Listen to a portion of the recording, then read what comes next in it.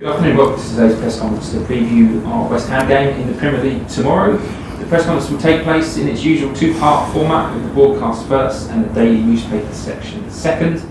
If you'd like a question today, please use the raise hand function on Zoom and we'll try and get round to as many as we can. We'll begin with Gary Cotterill from Sky Sports News. Gary, unmute yourself when you come onto the panel and away you go.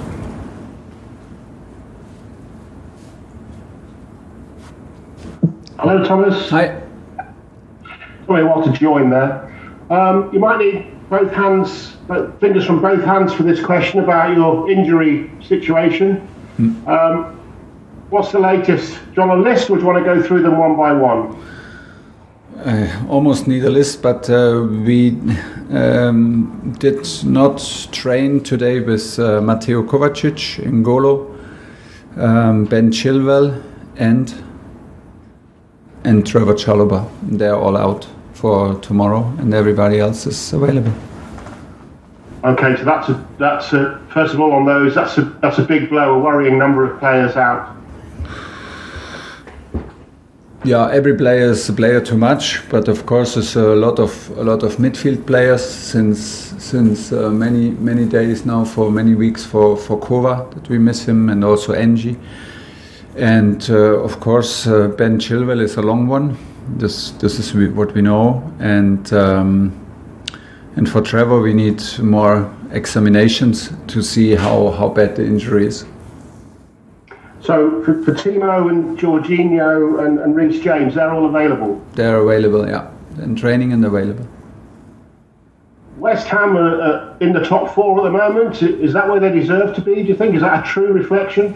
They have almost been in the top four last season. They were fighting um, the whole season for, for these places. A very, very good team, very good coach, and huge solidarity that they show. It's um, it's always a joy to watch their games because they play with a lot of energy, a lot of uh, positivity in, in, in, in what they are doing. They believe. Uh, they did not have too many changes. Like the, you, they they play as a team and they do what they do good. They believe in themselves, and uh, that's why this everybody is there where he deserves to be. And um, in the moment, they are on fourth place. They play strong in, in European competitions. It's a tough, it's a tough match. It's a tough team to play against. Uh, but it's also tough to play against us. So it will be an exciting uh, Sunday afternoon, maybe uh, not even afternoon. A 12:30 match on Saturday. so we're, we're, we we need to be on our top level to, to have a chance to win. But interestingly, listening to Ralph Rangnick's uh, opening news conference, um, interestingly as well, he says that he turned down the Chelsea job. He was offered a four-month deal in February.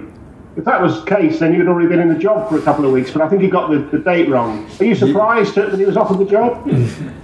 So maybe after our draw against Wolverhampton, maybe the maybe the bosses saw the draw against Wolverhampton and thought, no, he does not know what he's doing, so let's bring Ralph in for four months and take over. He must have the date wrong, uh, hopefully. Let's say hopefully, and otherwise, well, you know, it's a, it's a, it's a nice job to have in world football to be the coach of Chelsea. So you need to be realistic. Of course, there are some. There's no, if you get the phone call, you should be very aware that you're not the only one getting a phone call. And uh, now I'm here and I'm happy. Thanks, Gary. John Southall, Five Live. Hello, Thomas. How are you? Hi. Good. Um, you say you, you're going to have to be at your top level, but how difficult is it, do you think, to be at your top level at this, you know, this part of the season? Obviously, you had a tough game the other night. You had Manchester United. You've got a lot of injuries, and now you've got a 12:30 kickoff. Yeah, it's always another challenge coming. Like you said, we had a very exciting week with Leicester, uh, then Juventus, then Man United. Big names, uh, big challenges, a lot of reward for good performances. Then there was Ballon d'Or uh, selection. Then was suddenly a, a Wednesday evening game uh, against a, a, a strong and brave and encouraged Watford side who had nothing to lose. So like a lot of distractions, a lot of different approaches to games, and yeah, from from Wednesday afternoon to to Saturday morning is not. Uh, there is yeah simply no time to to uh, to to dream or to to to lose focus. You need to um, refocus straight away, and uh, this is what we did. We had already one meeting today in the morning. We will have uh, another one in the evening to prepare our team, because tomorrow is, is simply no time to do this. Um, yeah, it is tough. It is uh, some we sometimes we we are we are we are fatigued, and sometimes uh, it's it's stressful. But this is what we want, and this is what we love, and uh, we are in the middle of it. Aren't we all? Um, Romelu Lukaku, where, where do you assess where he's at at the moment? His performances when he's come on, and is this the time now to start him? Well, I will not tell you because that's will this is a, a um, is a part of the lineup where where I will want the opponents also to know very late who starts for us. Uh, he is in training. He wants to start. He's eager to start. Um, and and uh, like you asked uh, before, and now it's uh, uh, for the whole team. So how how difficult is it to reach always your top level? It's also individual. How difficult is it now for Romelu and and for all the other guys who came come in after injuries to hit their um, top level. I I honestly don't know exactly, and uh, that's but we should try always to to reach our top level, and maybe the top level is in every match different. Watford caused us a lot of problems, for example. So we needed to focus on uh, on not to uh, not to allow too many chances, too many big chances, and and to it was more a, a, a mental game to hang in there and not get too frustrated, and still wait for the chances to be clinical and and uh, escape with a win. And um, tomorrow will be new questions. It's a completely new team. We are like we will have some changes again, and and from there we go. But uh, we believe in what we do and we are uh, full of confidence and uh, it's, it's, it's, a tough one for the whole team and, and for Romelu if he starts or comes from the bench. And just a final one on Ralph Rangnick, you spoke about him briefly there. Have you spoken to him since uh, he took the job? And, and if you have, or maybe you haven't, um, what advice would you give him about managing in the Premier League? No, I haven't spoken to him. If I spoke to him, uh, I would simply uh, um, tell him my congratulations, but but no advice. Nobody needs advice, and uh, nobody needs advice from me. I have enough to do to to get our things going in uh, in the right direction, and this is where the focus is. And uh, every situation is different. Everybody does it his own way, so he can uh, prove he can prove himself now in, in, in, a, in, a, in a very big club and in the biggest league. Hi, Charlotte. Hi, Thomas. Um, Hi. You spoke about obviously your lack of midfield options, and I know you said after the game at Watford that you were thinking of playing Saul in that left wing back role.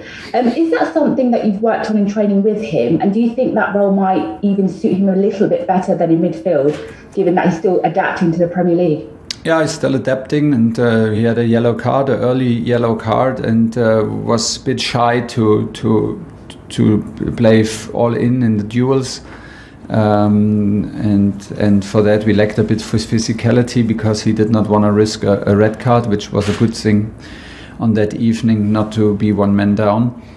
Uh, I think that he could play uh, in a in a wingback role for us. Like even if we play like a, a, a dominant game and a, an offensive uh, game, because he's very strong in arriving in the opponent's box, very strong in finishing, and has a good timing to arrive also on second post with a head.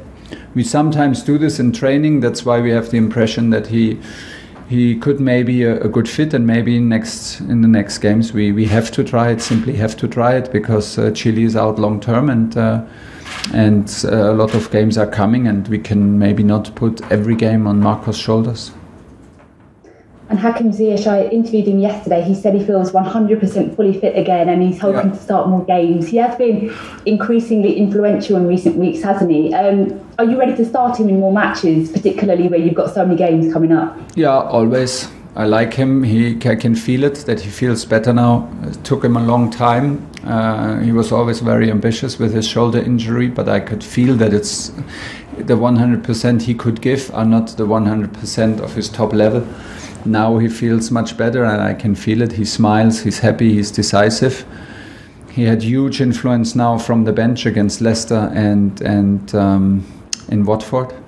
He had two matches in between, I think, from from the start Juventus and and uh, Man United.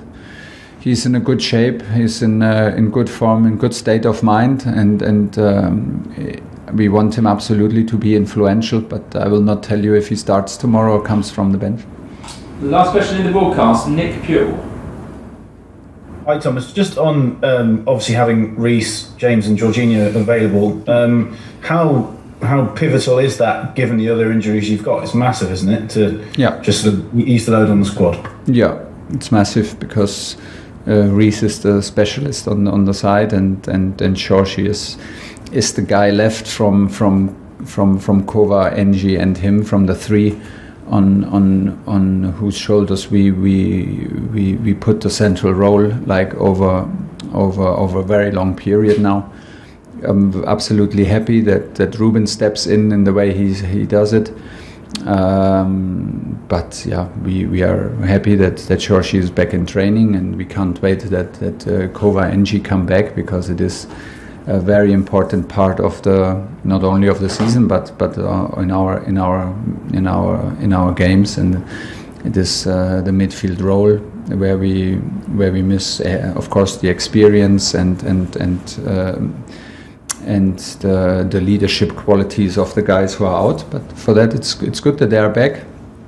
And listen we will never complain because we are here to find solutions and if uh, we miss players, other players will play, and they have a contract here because they deserve. And this is what we do. And uh, we'll have a strong team on the on the pitch on, on tomorrow. And we had a strong team on, on the pitch against Watford. And uh, we are used to have some changes in between, and this is where we go. Okay, that's the end of the broadcast section.